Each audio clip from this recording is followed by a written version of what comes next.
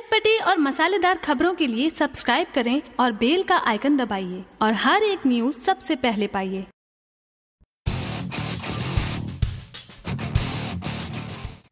भोजपुरी फ़िल्मों की हॉट अदाकारा काजल रदवानी ने बॉलीवुड के किंग खान यानी शाहरुख खान से पंगा लिया था। सभी भोजपुरी इंडस्ट्री लोग हैरान थे कि आखिर अब क्या होगा। दरअसल काजल रदवानी ने शाहरुख खान से रियल लाइफ में नहीं, बल्कि भोजपुरिया बॉक्स ऑफ़िस पर पंगा लिया था।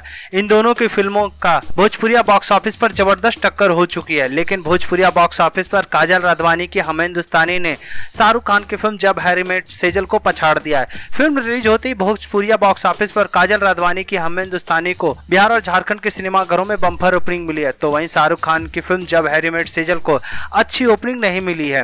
एक रिपोर्ट के अनुसार काजल रदवानी की फ़िल्म हमें हिंदुस्तानी को पूरे बिहार और झारखंड में करीब सौ सिनेमा घर मिले हैं। तो वहीं शाहरुख खान की फ़िल्म जब हैरी मेट सेजल को पूरे बिहार और झारखंड में सिर्फ़ पचास सिनेमा घर मिले इससे ये साबित होता है कि शाहरुख खान की फ़िल्म जब हैरी मेट सेजल काजल रदवानी की हमें हिंदुस्तानी के आगे घुटने टेक चुका है। हालाँकि दोनों स्टार अपने अपने तरीके से फ़िल्म के प्रमोशन में कोई सी कमी नहीं छोड़ी थी।